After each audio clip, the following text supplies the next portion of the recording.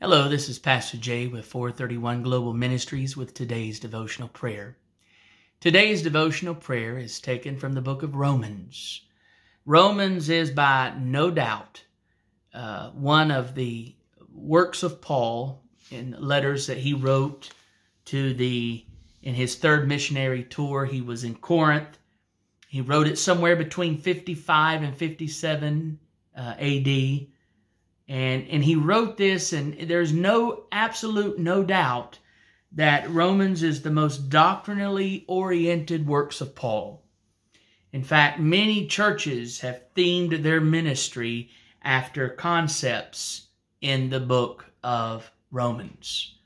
Uh, there's many things that Paul contrasted in Romans.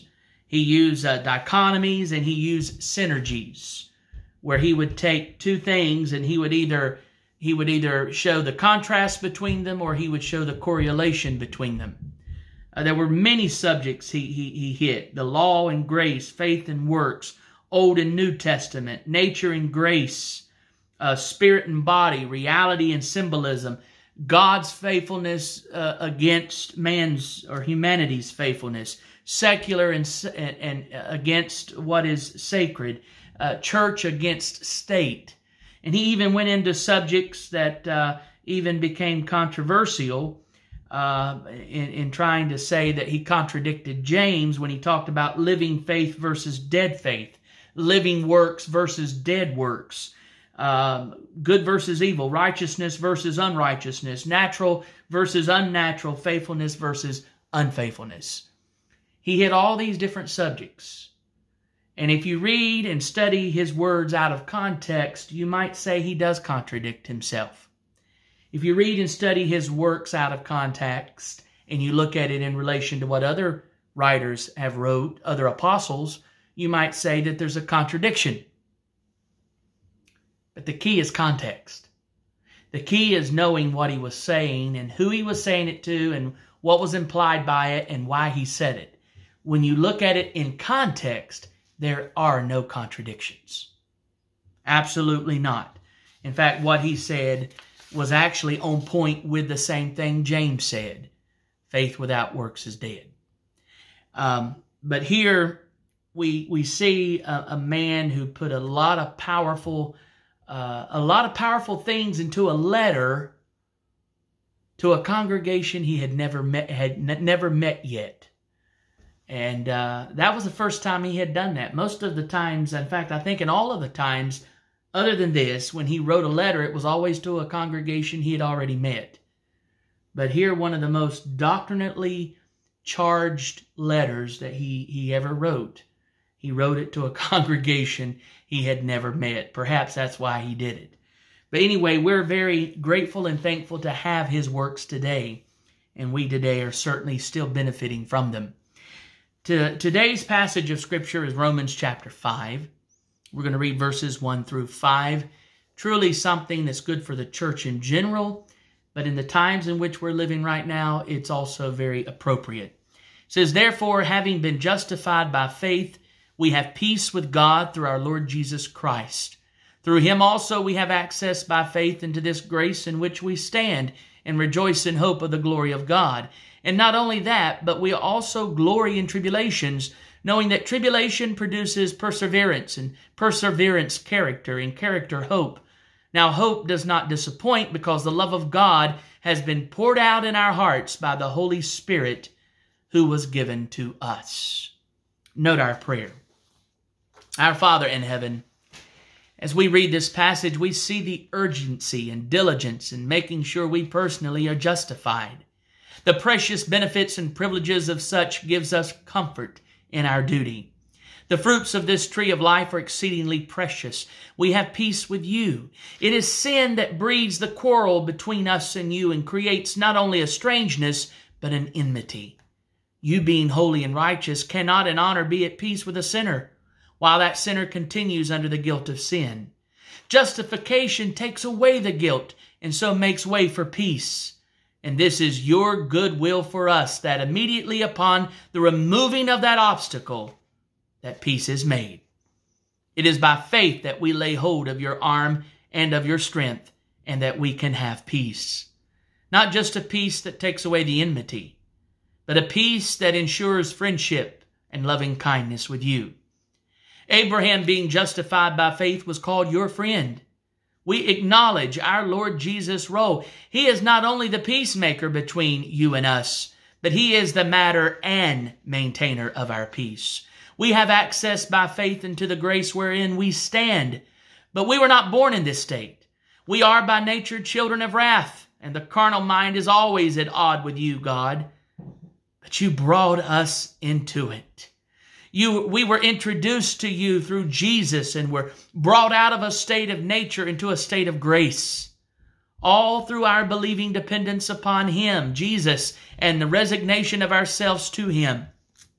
Father, we know that it does not stop there. We cannot lie down as if we already attained it but rather we stand as those that are pressing forward. We stand as servants attending on Christ our Master. We keep our ground. We stand in a humble confidence of this very thing, that Jesus has begun the good work and will perform it.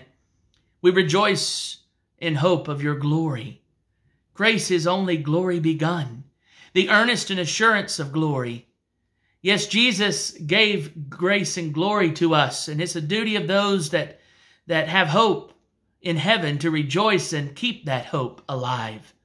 But not only do we glory in hope, but we glory in tribulation as well, especially tribulations for righteousness' sake, which seems to be the greatest objection against our happiness. But the apostle here explains why. Tribulation by a chain of causes greatly befriend hope, which he shows in the method of its influence. Tribulation works patience, not in of itself, but the powerful grace in which you, you give. And it works in us and improves our patience as parts and gifts increase by exercise. It is not the cause, but it yields the occasion, just as steel is hardened by the fire.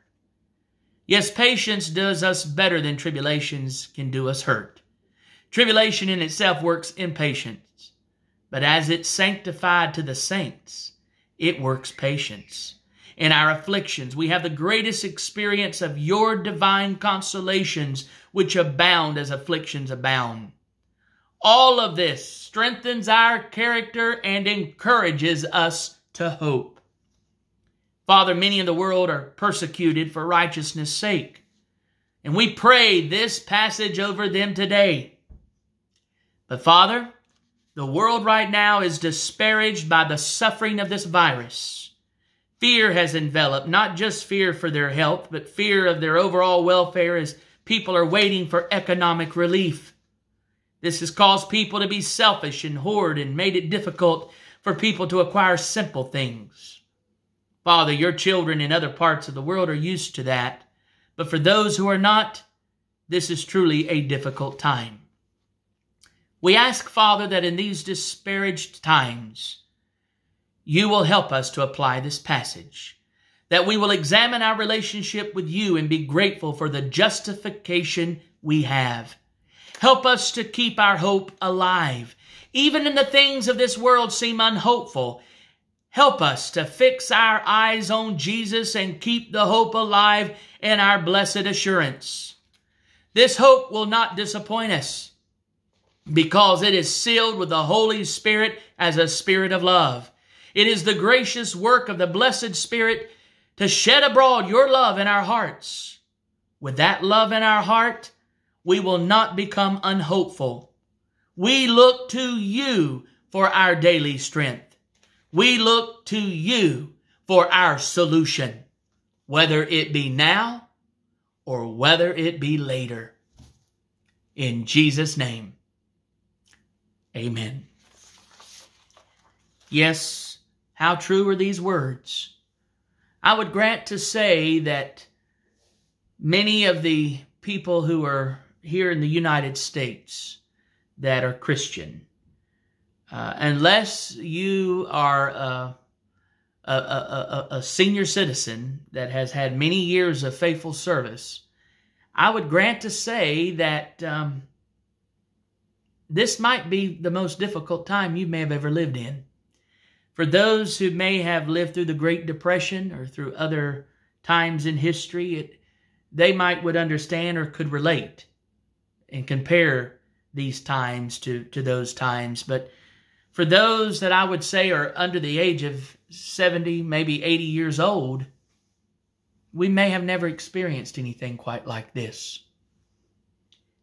People are concerned about their their welfare. They're concerned about their pocketbooks, their savings, their their if they own businesses, they're concerned about whether or not their business will survive. There's so much that people have that they're concerned about right now. And this is the first time I know in my lifetime, and probably almost everyone that's listening to this, that we have been restricted even in our worship. When you can't just freely go to church without some type of restriction. These are difficult times. There's a lot of uneasiness right now. There are people who's having anxiety, people who are stuck in their homes and locked in their homes and can't get out are, are experiencing mental health issues right now. These are hard times. But regardless of the times we face, regardless of those times we face, we have a hope. We need to live in that hope we have to realize we have a relationship with God. He, we're, we're His friend. We're justified by faith. And with that justification, we no longer have the guilt of our sins and the guilt of our past. We have a hope. He said he'll not, he will never leave us. He'll never forsake us. He said he will not put more on us than we can bear. The question I have for each and every one of you right now is, do you really believe that? Do you really believe that he will live up to his word. If you have faith and you're living in your justification, you have nothing to worry about. He's made his promises and it's impossible for him to lie. We now have to live and walk in those promises. We have to keep our faith alive, keep our faith strong.